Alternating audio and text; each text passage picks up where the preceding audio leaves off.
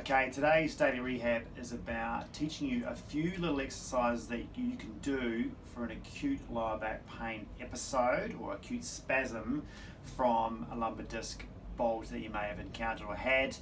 And these exercises are really, really good to do sort of first thing in the morning or and at night to get you moving. So they're what we call our daily exercises that are precursor, you know, before you do your main set of mobility and rehab exercises that help with the problem you've got. So they're really good at unlocking or um, releasing the lower back, getting it out of spasms so it actually starts moving a little better, you start moving a little better, and then once you've been up for an hour or two, say in the morning, and then you, you can do your exercises a little bit better.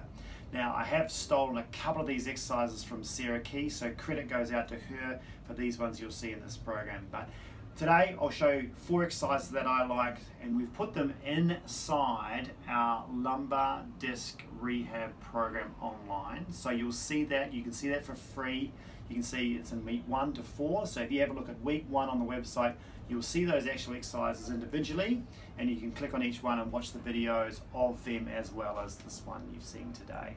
So the first one I want you to show is a pelvic tilt. Now, this one you do lying down. Now, you can do this in bed. So this is a really good one if you've got acute lower back pain and you're struggling, or if you're lying down in the sofa or you're lying down on the floor preferably.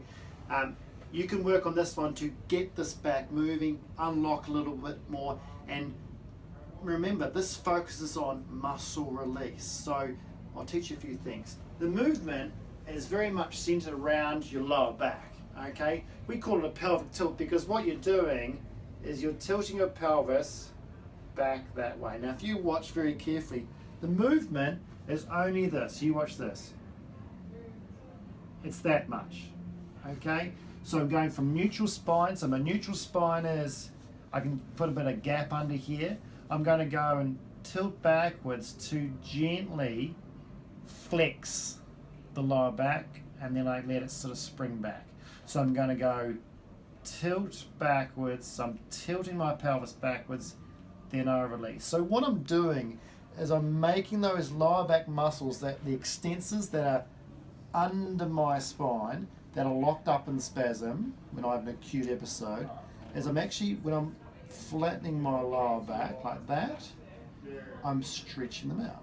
So I actually pelvic tilt move my spine from extension to flexion through neutral and that stretches out those extensors. It forces them to relax. You've just got to try and make sure you're using a little bit of pelvic floor and a bit of push through the heels to do the tilting. Don't try and use all your abdominals to do that. I don't want a big increase in muscle control and big increase in abdominal activation. I don't want, it's not an ab workout. Okay, I'm not trying to brace or anything like that. I'm actually trying to leave this relatively relaxed because I want everything to relax. So you're tilting backwards slowly. And the other thing you got to do is don't go too far. If you've got an acute disc problem, you don't want to go into a massive amount of flexion, okay? Because the flexion is the is going to sort of promote a posterior disc bulge. So I would just work on going to a tiny little bit of flexion. Now that's okay because I'm unloaded, right?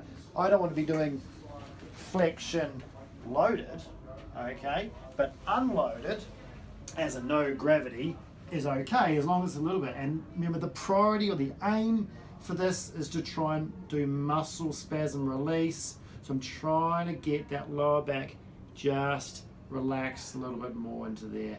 I'm not trying to go into flexion. I'm just trying to release that off. Now that's a really good one to do. How many to do? Maybe 10, maybe three sets, but these four things I would try and do in a bit of a circuit. So you might do one set of each of the four and then repeat into the circuit again, okay, like your little routine, all right? So that's your pelvic tilt, really good one to work on. The second one you can do again in bed is rotations. Now, this is where you keep your knees together, heels together, okay? Now you can either hold on to the bed or you can hold onto something, put your arms out if you're on the floor, and you're going to rock and rotate your pelvis over to one side. So you go into right rotation of the lower back, and then you pull it back and rock to left rotation. Now some people get a bit of a clunk and a click, as long as that's not painful, that's okay. And you just work on the range that you're okay with. Keep those heels together, rotate over, keep your shoulder down, and come back. Now it's not a sustained lower back stretch. That's what you probably do in your mobility section throughout the day. Because some backs, when they're quite acute, maybe first thing in the morning or at the evening if you're getting sore again, you don't, you just can't hold that stretch. You're too tight and you've got too much pain and spasm. You need to loosen up. So here are your loosening up exercises. And this rotation one's really nice because most lower backs like rotation. You might find you have a bias to one side. So one side might be like, oh, I can't go as far that side. So don't go through your pain. Just work on the ranges that you're okay with and let it loosen up. Remember, you're going to do these as a circuit. So I would do about 10 of these to each side. Okay, and then you might do three sets of that. Okay, so one set per circuit, working on this rotation. Again, that's a nice one to get those muscles relaxed and moving because if they've been doing nothing all night because you've been in bed all night, there's a good way to get them moving. So when you then get out of bed, you don't feel like you're sort of getting out of bed like this. Okay, you're getting out of bed a little bit looser because those muscles had a bit of activity. They've gone from spasm to working a little bit more. There's less stiffness. You can start your day a little bit faster. You can get into your exercise a little bit faster, and away you go. Right. Now the next thing is again, this is the, like I said, I've stolen these from Sarah Keys. This is a yoga block, okay, sometimes called a back block. Now you can either use one of these, it's just simply to raise your pelvis and provide some traction, or you can use a big, big book, okay, I don't mind.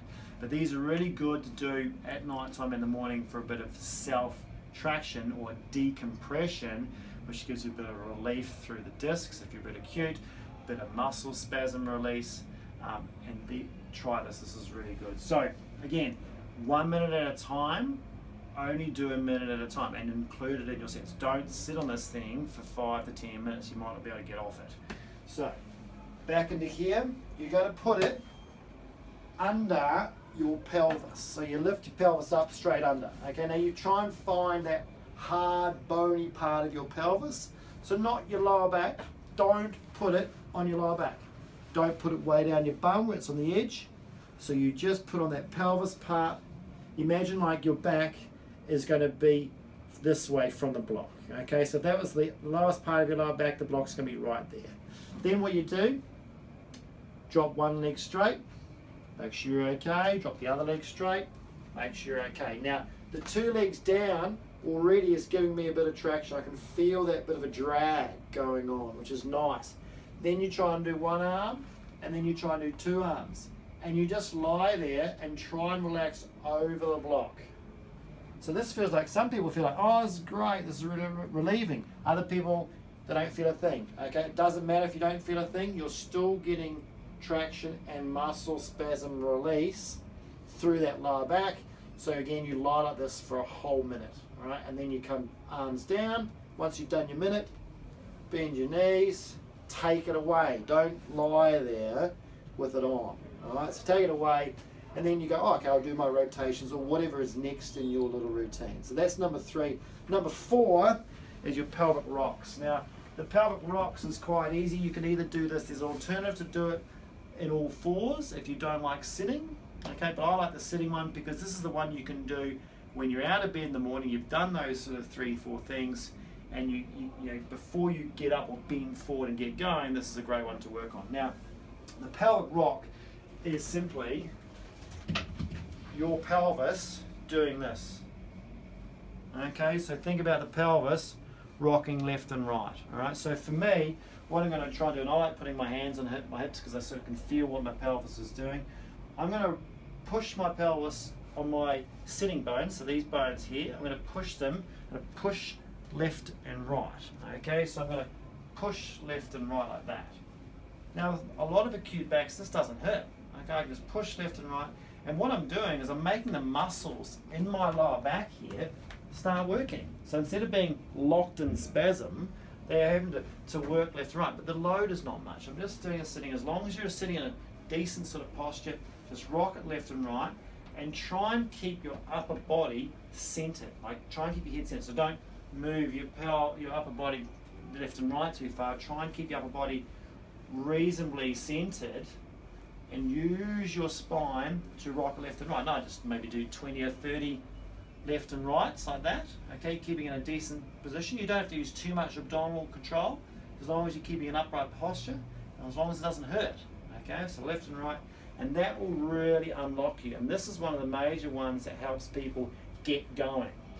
But it's good to do after you've done those other three.